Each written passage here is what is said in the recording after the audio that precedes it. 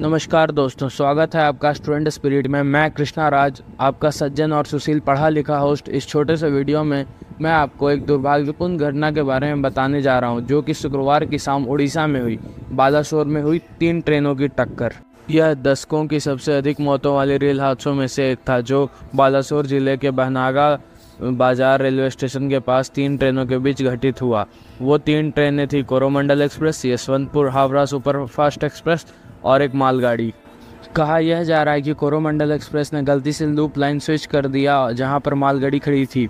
Coromandel express 128 kilometre per hour की speed से मालगाड़ी से टकराई और अपनी पटरी से उतर गई। इसके कुछ डिब्बे बगल की पटरियों पर चले गए और यशवंतपुर हावड़ा सुपरफास्ट एक्सप्रेस के पिछले हिस्से से टकरा गई, जो उसी स्टेशन से उसी वक्त गुजर रही थी। यह टक्कर इतनी भीषण थी कि 275 से अधिक लोग मारे गए और हज़ार से अधिक लोग घायल हो गए। उनमें से कई क्षतिग्रस्त डिब्बों के अंदर फंस गए थे और आपातकालीन सेवाओं द्वारा उन्हें बचाया जाना था। बचाव अभियान कई घंटों तक जारी रहा और कई शवों को पास के अस्पतालों और व्यापार केंद्रों में ले जाया गया।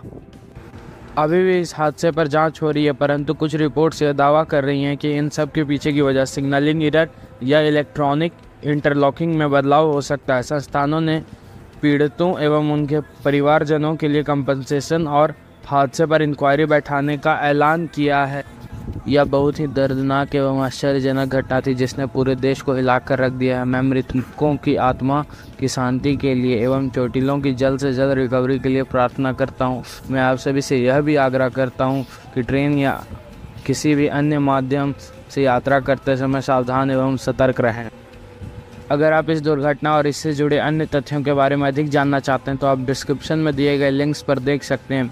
और यदि आपको यह वीडियो अच्छा और इन्फॉर्मेटिव लगा तो वीडियो को लाइक करें और मेरे चैनल को सब्सक्राइब कर दीजिए, ताकि आपको ऐसे ही इंफॉर्मेटिव वीडियो मिलती रहें। देखते देखने के लिए धन्यवाद। मिलते हैं अब अगली वीडियो में। बाय